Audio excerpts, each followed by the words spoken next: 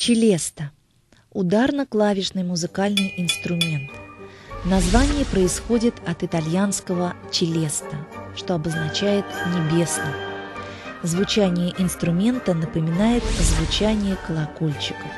Челеста была запатентована и выпущена в 1886 году парижским мастером Агюстом Мюстелем.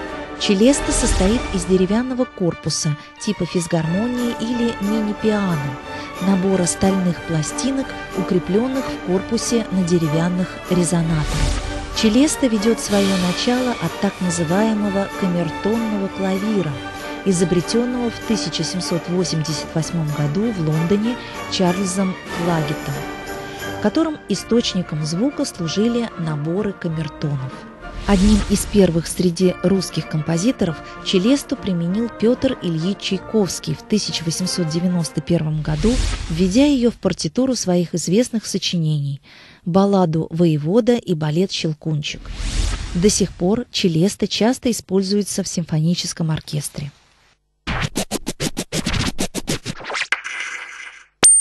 Шершень – род жалоносных перепончатокрылых насекомых семейства ос настоящих из группы общественных ос. Длина тела около 35 мм. Встречаются виды до 55 мм. Самки крупнее самцов и рабочих особей. Окраска тела бурая, с желтым рисунком. Крылья буро-желтого оттенка, иногда грудь и брюшко черные.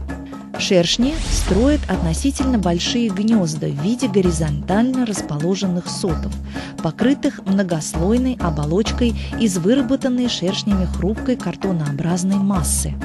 В гнезде приблизительно 500 ячеек. Для постройки гнезд Шершни обгладывают кору и ветви различных деревьев. Питаются они нектаром, мякотью фруктов, а также насекомыми, пчелами, более мелкими осами, кузнечиками, которых убивают с помощью яда и мощных челюстей. В России и Европе распространен шершень обыкновенный. В Азии обитает самый крупный шершень. Укусы шершни довольно болезненны, хотя их яд менее токсичен, чем яд пчел. Азиатские виды шершней обладают более токсичным ядом, чем европейские.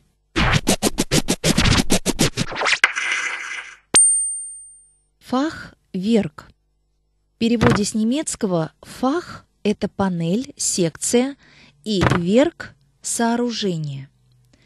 Фах-верк – тип каркасной конструкции малоэтажных, преимущественно гражданских зданий. Такие дома имели широкое распространение в средние века в Западной Европе.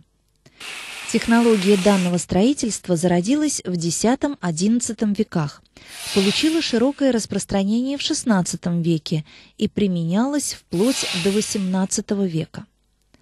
Фах-верк в домах был обычно деревянный, состоящий из горизонтальных и вертикальных элементов и раскосов. Заполнение стен каркаса делали из глины, смешанной с соломой или камышом, иногда из камня, кирпича, дерева.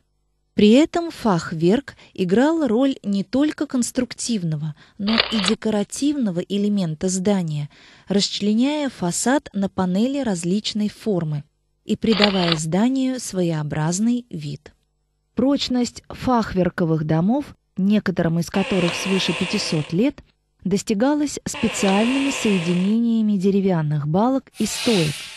Использовались соединения типа «ласточкин хвост», «потайной шип», а также деревянные нагели вместо гвоздей.